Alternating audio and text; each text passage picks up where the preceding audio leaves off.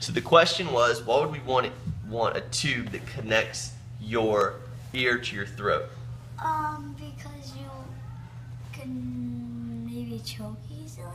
Well, it doesn't have something to do with choking. That's a good guess. Let's think about this. All right, Okay. you are going up in an airplane. Yeah. All right, pressure way up in the airplane is a lot less air pressure than it is on the ground.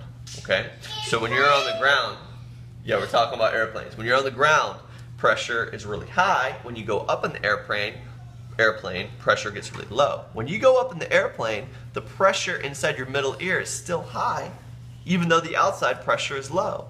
That causes a lot of pain. You know when your ears hurt when you go in the airplane?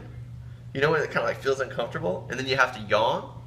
Well, when you yawn, that opens up your auditory tube and it allows that excess pressure to escape out, which allows your pressure in your middle ear to be equal to the pressure on the do- outside. All that does is happens again. You have to yawn again. Yeah, and you keep having to yawn, right? Same deal if you go to the bottom of the pool. You go to the bottom of the pool, your ears start hurting, right? Right? Deep pool, like 10 foot pool. Well, what's going on there is the pressure outside your ear is greater than the pressure inside, and so you can grab your nose and you can cause it to equalize. Yeah. All right. No, no. Then, No, okay. no, no, no, no, no, Daddy. Yeah, The the code's this big. yeah, you got big ears. That's good.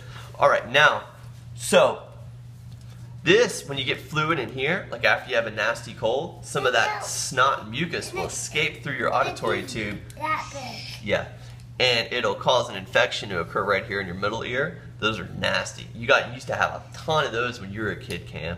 So much, in fact, that we had to get a little tube installed right here in your tympanic membrane that allowed all that extra fluid to drain out. Wait, is it still in there? No, it fell out. So all that fluid would drain out, and it looked like one of those spools that holds wire, like at a, at a construction site, one of those big spools. A surgeon went into your ear, made a little cut into your tympanic membrane. Is that bad, like a bug or something? Or a What's that?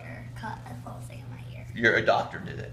A doctor went in there, made a cut, put that spool in there with a little hole in it, so all that fluid could drain out. Those things stayed in your ear for about a year. You didn't get any more ear infections, and then it finally popped out. And now you're good. Typically, some kids like you, when you're really young, your auditory tubes are very small and they're like bent, so they don't drain properly. That's why you needed tubes. As you got older, it got bigger, and it wasn't um, a problem. Okay? Now, okay, so that's the middle ear. Now, let's talk about the last part of your ear, and this is the inner ear. All right? Kind of looks like this. So, and I'll tell you what happens here in a second. So, on the other side of the stapes, the stapes makes um, this little oval-like structure, and this oval-like structure connects to the inner ear. And this inner, that oval-like structure is called the oval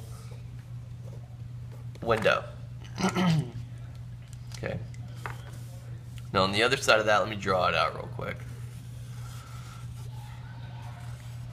All right, so on the other side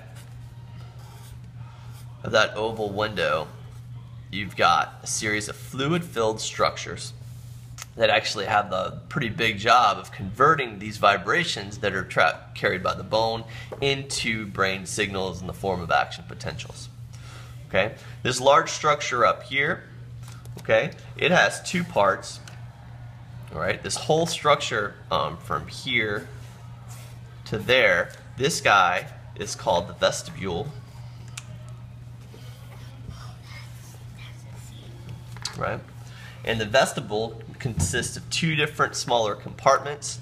The first smaller compartment, which is connects right onto the oval window. This first compartment, this is called the saccule. And this larger compartment is called the utricle. Okay. Now this coiled up structure right here that looks like a big snail, that is called the cochlea. All right. Now, just to give you an overview, and I'll kind of go into detail. Oh, and one more. These arch-looking structures, we have three of them. These guys are called the semicircular canals. Just to give you an idea of what happens, this stapes beats on the oval window like a plunger. That transmits those vibrations into the fluid that fills the inner ear. Okay, these sound waves are encoded into action potentials in the cochlea. We'll talk about how that happens a little later. Up here, these are the structures. The vestibule encodes um, acceleration that happens along a linear plane, whereas the semicircular canals, those allow us to feel acceleration that happens um, due to rotation. So the vestibule allows us to sense the position of our head and um, the position, the position of our head and body, whereas the semicircular canals, those come active like when you're on a merry-go-round, when you're spinning around. Okay.